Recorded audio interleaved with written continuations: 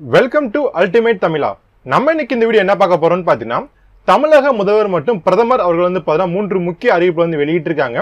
இதை பத்தின கம்ப்ளீட்டான தகவல் வந்து பார்க்க போறோம். நம்ம வீடியோ ஸ்கிப் பண்ணாம இறுதி வரைக்கும் பாருங்க. கண்டிப்பா பயணத்து எல்லாமே கிளியராகவே இருக்கு.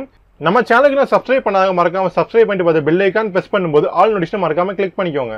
வாங்க இன்னைக்கு வீடியோக்குள்ள போலாம். இன்னைக்கு நான் ஃபர்ஸ்ட் பார்த்த டாபிக் வந்து பார்த்தீங்கன்னா அரசு அரசு உதவி பெறும் பள்ளிகள் மற்றும் தனியார் பள்ளிகளில் நாளை முதல் ஒன்றாம் வகுப்பு முதல் பத்தாம் வகுப்பு வரை கல்வி ஆண்டிற்கான மாணவர் சேர்க்கையை பார்த்தா துவங்க தமிழக அரசு வந்து அனுமதி வந்து அளிச்சிருக்காங்க. அது மட்டும் இல்லாமல் நாளை ஒன்றாம் வகுப்பு முதல் பத்தாம் வகுப்பு வரைக்கும் அதுக்கப்புறம் பார்த்தீங்கன்னா இருபத்தி நாலாம் தேதி பார்த்தா பதினோரு வகுப்பு மாணவர் சேர்க்கையும் துவங்குகிறது அரசு வந்து அஃபீஷியல் அனௌன்ஸ்மெண்ட் வந்து கொடுத்துருக்காங்க. அரசு மற்றும் அரசு உதவி பெறும் பள்ளிகளில் மாணவர் சேர்க்கை நடைபெறும் நாளில் மாணவர்களுக்கான அரசு அறிவித்துள்ள இலவச பாட புத்தகங்கள் புத்தகப்பை காலணிகள் உள்ளிட்டவைகள் வழங்கப்படும் என்று அறிவிக்கப்பட்டுள்ளது. மாணவர்கள் சேர்க்கையின் போது கூட்டம் சேர்வதை தடுக்க இரண்டு மணி நேரத்துக்கு இருபது மாணவர்கள் மட்டுமே அழைக்கப்பட வேண்டும் என்றும் பள்ளி ஊழியர்கள் மாணவர்கள் பெற்றோர்கள் உள்ளிட்ட அனைவருக்கும் பார்த்தீங்கன்னா முகக்கவசம் கட்டாயம் அணிய வேண்டும் என்று அறிவுறுத்தப்பட்டுள்ளது. இலவச கட்டாய கல்வி உரிமை சட்டம் கண்டிப்பாக நிறைய பேர் கேள்விப்பட்டுமே ஆர்டின்னு சொல்லுவாங்க. தனியார் பள்ளிகளில் எல்கேஜி மற்றும் ஒன்றாம் வகுப்பிற்கான மாணவர் சேர்க்கை ஆண்டுதோறும் நடத்தப்பட்டு வருகின்றது. இதன்படி வந்து பார்த்தா தனியார் பள்ளிகள் இருபத்தஞ்சு சதவீதம் இடங்களை பார்த்தா இலவச சேர்க்கைகள் ஒதுக்கப்பட வேண்டும் கண்டிப்பாக. இந்த ஆண்டுக்கான சேர்க்கையை பார்த்தா பெற்றோர் எதிர்பார்த்துள்ளனர் இந்த நிலையில்.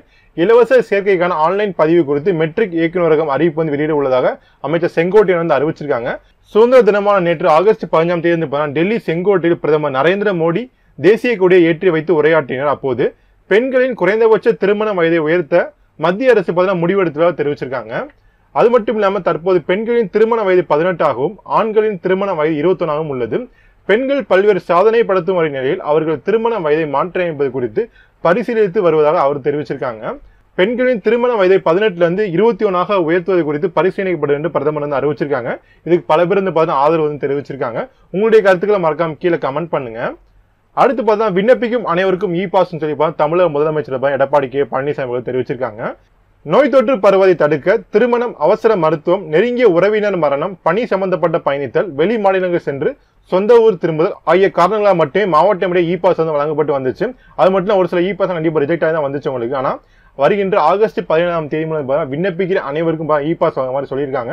நீங்கள் அப்ளை பண்ணும்போது உங்களுடைய ஆதார் கார்டு ரேஷன் கார்டு மட்டும் மொபைல் நம்ம கரெக்டாக கொடுத்து அப்ளை பண்ணினா கரெக்டான ப்ரூஃப்லாம் இருந்தால் கண்டிப்பாக நாங்கள் இ பாஸ் வந்து வாங்குற மாதிரி அப்பீஷன் ஸ்டேட்மெண்ட் எல்லாமே கொடுத்துருக்காங்க. இதே மாதிரி இன்னைக்கான லேட்டஸ்ட் தகவல் உங்களுக்கு கண்டிப்பாக அனைவருக்கும் புரிஞ்சிருக்கும் நான் நினைக்கிறேன். இந்த வீடியோ பிடிச்ச மறக்காம சேனல் சப்ஸ்கிரைப் பண்ணிட்டு பார்த்து பெல் ஐக்கான் ப்ரெஸ் பண்ணும்போது ஆல் நோட்டிஷன் மறக்காமல் கிளிக் பண்ணிக்கோங்க. நன்றி.